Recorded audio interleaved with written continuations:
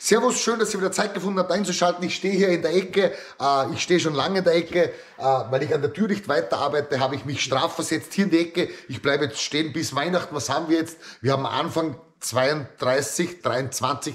Auf jeden Fall viel Spaß beim Video. Schaut genau zu, damit ihr das nächstes Mal selber machen könnt. Als nächster ist jetzt an der Reihe, das hier auszuflicken. Das wird nur hier verleimt. Hier werde ich einen Keil eintreiben. Das kann ich dann eigentlich noch schön nachschneiden. Das ist jetzt zum Ablängen. Jetzt reißen wir uns das hier an, damit ich das ausflicken kann. Mit ein wenig Übermaß.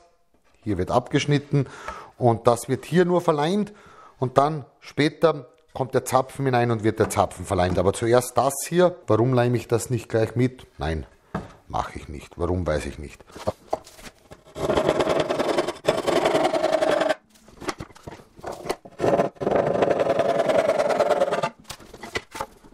Das hier eingepasst.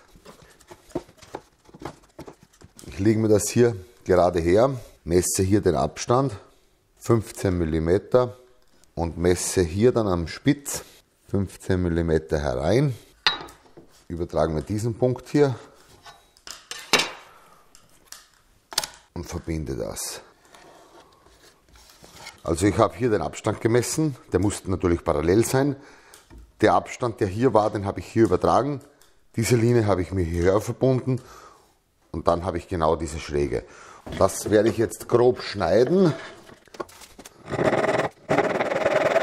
Ah, falsche Säge. Sowas sollte normal nicht passieren, dass man die falsche Säge nimmt.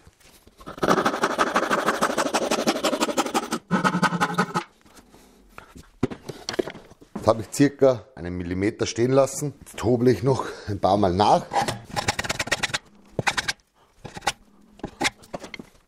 Einen Hauch noch hier. So, ein wenig noch nachhobeln. Leime ich das herein. Normal wäre es ja mit Knochenleim ideal zu leimen, da es ja eine alte Tür ist. Aber hier unten ist der Regen. Also das Wasser kann hier unten eventuell hin. Und das ist mir dann jetzt dann zu gefährlich. Beim Weißleim weiß ich, der wird da halten. Diese Wange muss relativ viel halten, da er die Wange hier den Zapfen unten halten muss. So. Jetzt ziehe ich mir mit dieser Zwinge das so schräg, so schräg hinein, dann presst es mir das schön in die an die Kanten an. So, den Leim überall fest hinein. Und jetzt gebe ich hier, schaue, dass ich kein breiteres habe. So, das hier.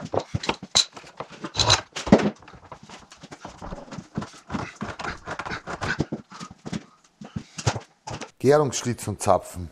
Hier, das sind die Schlitze. Daher ist unten nur noch ein Drittel. Hier dasselbe. Hier habe ich den Zapfen schon gefräst. Oben die Gärung. Unten bleibt die Wange normal und in der Mitte das wird herausgenommen. Auch gedrittelt. So macht man das. Auf jeden Fall spanne ich das hier ein. Ich werde mir das mit 45 Grad herschrauben. Also hier so ungefähr sollte es sein. Hier unten muss es durchgehen. Das ist wichtig.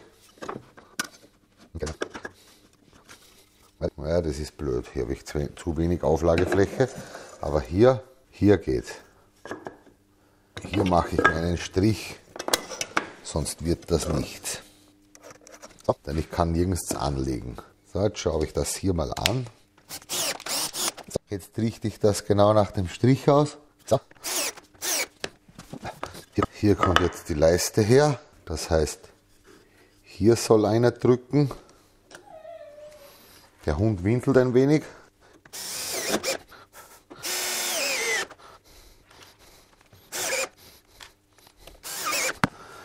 So, und hier noch einen zweiten Arm, denn dann hält es ja besser, ja klar.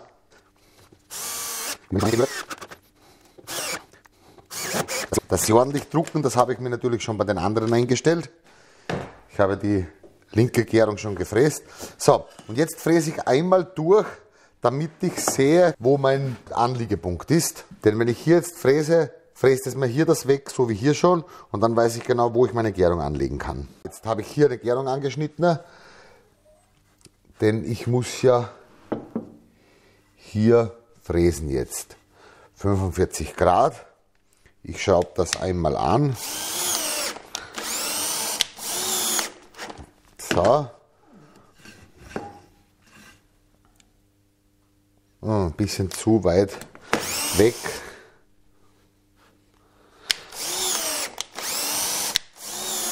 Das muss in den Fräser hineinschauen, sonst reißt mir ja diese Kante hier aus. Und jetzt schaue ich mit dem 45 Grad Haken, ob das passt. Nein. So, jetzt habe ich mir das genau auf 45 Grad eingestellt. Jetzt kontrolliere ich sicherheitshalber nochmal. Passt ganz genau. So, jetzt kommt hier mein zu fräsendes, das, mein zu, mein zu fräsendes Teil. Das schraube ich jetzt an. Die Klemmen habe ich schon vorher eingestellt, also diese, diese Niederhalter, denn ich habe ja die anderen schon gefräst, die ihr vorher jetzt gesehen habt. Diese Gärungsschlitzenzapfen. Der, was diese Türe vor 150 Jahren gebaut hat oder so, der hatte natürlich keine Tischfräse, also der konnte wirklich arbeiten. Wenn sie an zwei Punkten gehalten wird, die Leiste, ist das natürlich besser. Wenn sie jetzt nur einmal gehalten würde mit so einem Niederhalter, dann könnte sich die Leiste beim Fräsen drehen. Und das wollen wir auf keinen Fall. Diese Platte ist auch schon fast von diesen ganzen Bohrungen. Muss, muss man etwas weg, den Überstand der Schrauben, sonst liegen die Teile nicht gerade auf. Und jetzt fräse ich einmal durch, dass ich quasi meinen Nullpunkt habe, also wo ich anlegen muss.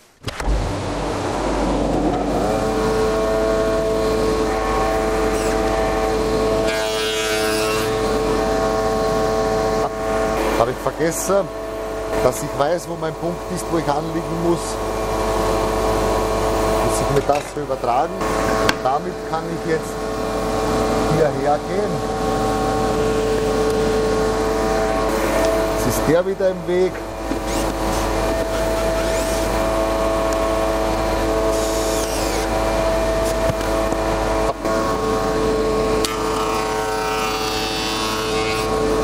Also hier, hier kann man genau erkennen, hier hatte ich den Nullpunkt und so fräse ich das. Jetzt ist dieses Teil hier, jetzt fräse ich noch hier. Jetzt muss ich hier bei dieser Gärung den Schlitz machen. Das ist ein Gärungsschlitz und Zapfen wird. Hier kann man den sehen. Hier ist der Originalteil, der Schlitz. Und hier muss er hinein. Hierzu habe ich mir jetzt also eine Schlitzscheibe reingegeben. Hier habe ich schon hingefräst auf, das ist mein Nullpunkt. Und jetzt brauche ich mir nur diesen Punkt nach unten überwinkeln. Überwinkle ich mir das nach unten muss mit dem Winkelstrich genau auf diesen Punkt hin. Und wenn ich dort bin, ziehe ich das an und dann kann ich mir diese Nut fräsen. Muss ich noch ein bisschen nach oben, dass das weg ist. Und wenn ich die jetzt alle gefräst habe, sollten die mit den alten zusammenpassen. Mit den kaputten. Passt. Und natürlich auch mit den neuen. Mit den neuen ist das etwas lockerer. Also da muss ich noch nacharbeiten mit der Hand, denn für beide passt das natürlich nicht. Die alten, die alten sind sehr verdreht. Hier ist nichts mehr gerade. Das hat sich wirklich extrem gedreht. Das sieht sogar aus, als wenn es schief geschnitten wurde. Aber kann ich mir nicht vorstellen, wer hätte sich das angetan, das schief zu schneiden und dann das Gegenstück schief. Also das ist wirklich so verdreht worden über die Jahre. Und jetzt werde ich anfangen, diese Profile wieder nachzuhobeln. Schauen wir, ob mein Handhobel passt. Schön, dass ihr wieder dabei gewesen seid. Das Video ist vorbei. Die Tür steht noch immer. Sie ist das ganze Video über hier gestanden. Ihr habt im Video die Tür in Bewegung gesehen, obwohl sie hier in Wirklichkeit stand. Das ist total kompliziert. Ähm, das versteht man nur eigentlich, wenn man Zeitsprünge machen kann. Also wir sehen uns wieder hoffentlich nächste Woche. Drückt gefällt mir, abonniert den Kanal und wenn es nichts ist, dann löscht das Ganze. Löscht das Internet.